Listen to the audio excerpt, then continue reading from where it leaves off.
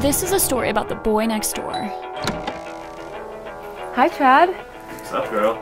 You wanna come in? I think my parents love you, but I don't think that Jesus does with the things you do.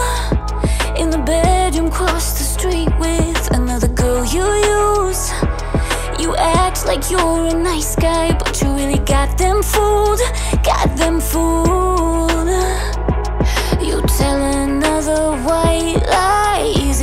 Your blue eyes. Really not my type, so I got a message. Hey, Chad. Come on in. Okay. To the boy next door